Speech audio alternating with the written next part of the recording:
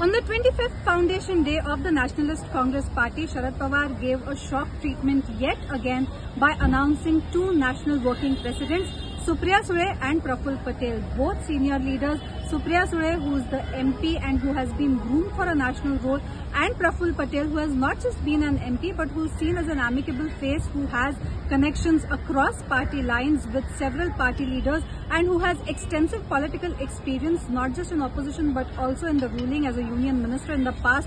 Both of them will handle the positions of national working presidents along with responsibility of the states that have been given to them. Notably, the responsibility of Maharashtra has been given to Supriya Sule. Total 10 uh, leaders of NCP have been given several responsibilities in a public announcement that was made by Sharad Pawar today. We will have to see what it means for the politics of Maharashtra though as Ajit Pawar has not been named in any of them.